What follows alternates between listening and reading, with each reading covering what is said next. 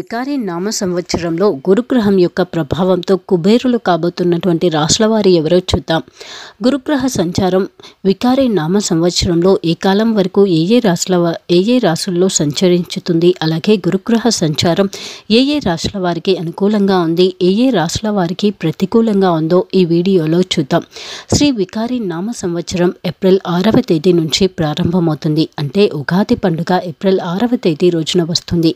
మన మన తెలుగు సంవత్సరాల ప్రకారం వికారి నామ సంవత్సరం ఈ సంవత్సరం ఏప్రిల్ ఆరవ తేదీ నుంచి ప్రారంభమవుతుంది. అయితే ఈ కొత్త వికారి నామ సంవత్సరంలో గురుగ్రహ సంచార ప్రభావం అనేది ఏ ఏ రాశుల వారిపై ఏ విధంగా ఉందో చూద్దాం. ముఖ్యంగా గురుగ్రహం సంపూర్ణ శుభగ్రహం. అందుకే ఉత్తమమైనటువంటి మన ఆర్థిక పరిస్థితికి అలాగే అఖండమైనటువంటి విద్యా యోగానికి అలాగే మనకు అదృష్టం వరించాలి అంటే అన్నింటిలో కూడా మనము ఉన్నతంగా ఉండి రాణించాలి అంటే అఖండమైన మేధస్సు మనకు కలగాలి అంటే ఇంకా సాంప్రదాయబద్ధమైనటువంటి నలుగురు మెచ్చేటువంటి పనులు మనము చేయాలి అంటే అలాగే నలుగురు మనల్ని చూసి ఆకర్షితులు అవ్వాలి నలుగురు మనల్ని గౌరవించాలి అంటే కూడా గురుగ్రహం యొక్క అనుగ్రహమే మనకు ఉండాలి.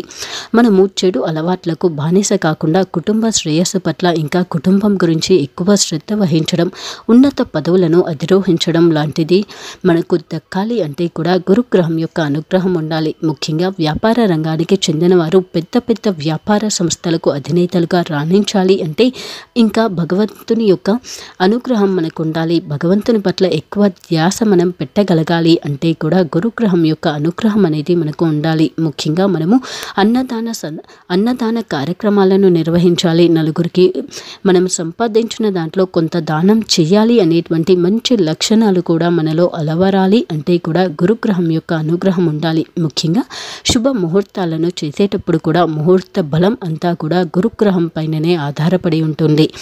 గురుగ్రహం యొక్క అనుగ్రహం ఉంటేనే మనము జీవితంలో ఉన్నత స్థితిలో ఉండగలుగుతాము. అలాంటి గురుగ్రహం మనకు అనుకూలంగా మారాలి. అలాగే గురుగ్రహం తన యొక్క సానుకూల ప్రభావాన్ని మన మీద చూపించే ప్రతికూల ప్రభావాన్ని చూపించకుండా ఉండాలి అంటే నవగ్రహ పాశుపత హోమాన్ని చేయించాలి. నవగ్రహ పాశుపత హోమాన్ని చేయించినట్లయితే గురుగ్రహం శాంతించుతుంది. అలాగే మన పట్ల సానుకూలమైనటువంటి ఫలితాన్ని చూపిస్తుంది. మిథున రాశి.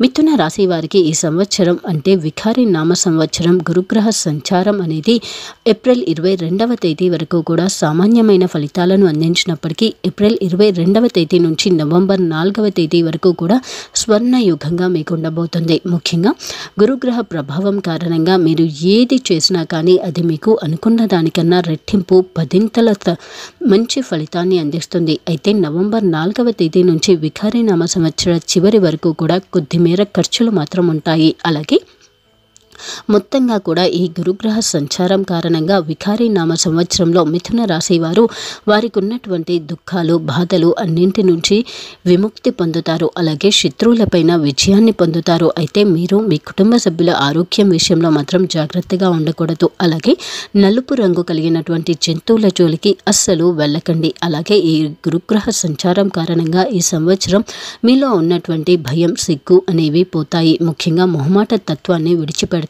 అధికమైనటువంటి తెలివితేటలను సంపాదించుతారు. అలాగే ఇంతకు ముందు కన్నా కూడా గౌరవ మర్యాదలను పొందుతారు. ఇంకా గురుగ్రహ ప్రభావం కారణంగా ఈ సంవత్సరం మీకు ధన నష్టం ఏదీ ఉండదు. ముఖ్యంగా ఏప్రిల్ ఇరవై రెండు నుంచి నవంబర్ నాలుగవ తేదీ వరకు కూడా మీకు ఒక స్వర్ణ యుగంగా ఉండబోతుంది. మీరు చేసే తెలివితేటలు మీరు పెట్టేటువంటి పెట్టుబడులు అన్నీ కూడా మీకు మీరు అనుకున్న దానికన్నా ఎక్కువ లాభాలను అందిస్తాయి. అయితే ఈ సంవత్సరం నవంబర్ నాలుగవ తేదీ నుంచి వికారి నామ సంవత్సర చివరి వరకు కూడా కొంతమేర మీకు క- మీకు ఖర్చులు మాత్రం మాత్రం ఉంటాయి అయితే ఆ ఖర్చులకు సంబంధించి మీరు తెలివిగా వ్యవహరిస్తే మాత్రం వాటి నుంచి తప్పించుకోవచ్చు. అలాగే నలుపు రంగు కలిగినటువంటి జంతువుల జోలికి అస్సలు వెళ్ళకండి. అలాగే ఈ సంవత్సరం మీరు మీ దగ్గరి కుటుంబ సభ్యుల యొక్క ఆరోగ్యం విషయంలో నిర్లక్ష్యంగా ఉండకండి. ఆ తర్వాత రాశి ప్రతి నెల మరియు ప్రతి వారం మీ రాశి ఫలాలు మీరు చేయాల్సిన పరిహారాలు తెలుసుకోవడం కోసం మా ఛానల్ని సబ్స్క్రైబ్ చేసుకోవడం మర్చిపోకండి.